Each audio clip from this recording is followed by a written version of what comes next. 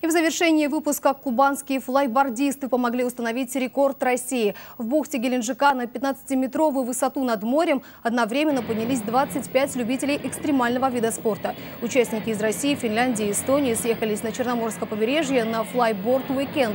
Нынешний сезон завершили рекордом по массовости нахождения в воздухе. И тем самым побили предыдущий, во время которого над Окой летал 21 флайбордист.